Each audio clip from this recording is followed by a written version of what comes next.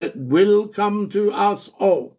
I say to you, uh, but uh, the problem is, Alison, what do you say? There's nothing you can say because we can't bring them back. You've just got to have loved the fact that you knew them. That's what I say. Uh, Jerry says, What do you think of the new bridge getting built from Govan to Clydebank to take you out at Yoker Football Stadium and onto Dumbarton Road? Jerry, I think a bridge is a great idea. Are you talking about replacing the Renfrew ferry? I mean, that's an old one. Disco Pete, how lovely to see you guys, Disco Pete, so beautiful. Can I have some likes? Everybody get tap, tap, tappity, tap, tappity, tappity, tap. We've got 1,900 likes. How beautiful is that? Uh, Jerry, this is great news. This is the first I've heard of it.